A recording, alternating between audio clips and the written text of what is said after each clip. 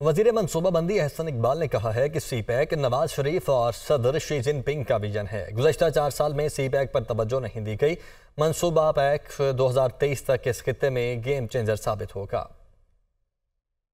Economic corridor, जो China के president Xi के बेल्ट एंड रोड इनिशिएटिव और प्राइम मिनिस्टर उस वक्त नवाज़ शरीफ साहब का जो विजन था कि पाकिस्तान को हमने एशियन टाइगर बनाना है इसके लिए जो विजन 2025 तरतीब दिया गया, ये उन दोनों का मिलाप था, जिसका मकसद ये था कि पाकिस्तान को जियो के दायरे से निकाल के जियो इकनॉमिक्स के दायरे में लाया जाए और पाकिस्तान को इस खत्े में ट्रेड कॉमर्स मैन्युफैक्चरिंग और एग्रीकल्चर का एक मरकज बनाए। उनतीस अरब डॉलर का पोर्टफोलियो है, जो पाकिस्तान के मुख्तलिफ़ शोबों में चीन के ताउन से पाया तकमील को पहुँच चुका है या आखिरी मराहल के अंदर है।